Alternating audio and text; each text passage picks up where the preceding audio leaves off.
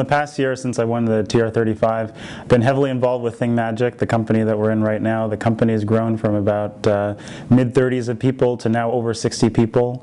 Uh, we're producing and selling products out into the market to address the need and demand for RFID technology. So, this is technology where we have embedded uh, chips in uh, either planarized plastic or paper material that get embedded on products.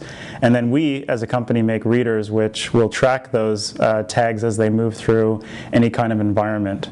So I've been heavily involved with that. Um, I'm the CTO of this company, uh, uh, focused on looking at the technology, both forward and uh, today. So that's one piece of activity that I've been heavily involved in. The other piece of activity I've been involved in was working with a collaborator and colleague from uh, back from the Media Lab named Ben Vigoda.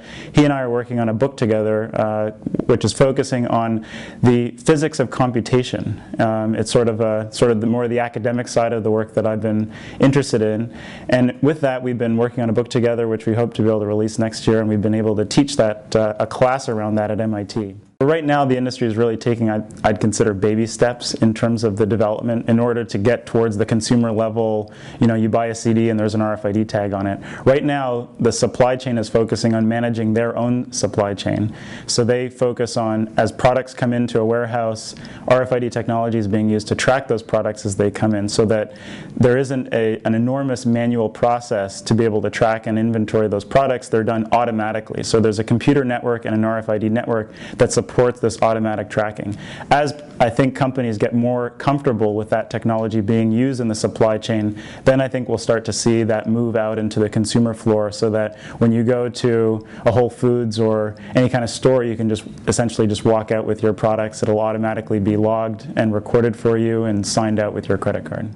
Yes, innovation is definitely a risky business. As I sit in a startup company of about 60 people building towards a market that doesn't exist, we're definitely involved in risk, and we hope that one day we'll be able to benefit from uh, the risk and investment that we're putting into that. But it's, yeah, it's definitely a challenge. Um, when we, as I work today or any other day, we're constantly innovating and trying to develop new technologies, and some of those technologies, and I've seen this happen already, are going to fail. And if we're not working on things that are failing and succeeding at the same time, then we're not pushing the boundary enough. So I think it's really important to have those those failures as well, and you're going to learn from those failures and use them uh, at some later date. I am convinced that anything that doesn't work, even if it's if it seemed like a good idea and it didn't work for some reason, market reason, so on and so forth, it's going to be useful at some time. I'm going to be able to put that technology, that innovation in my back pocket, and someday be able to pull that out and use it for another purpose.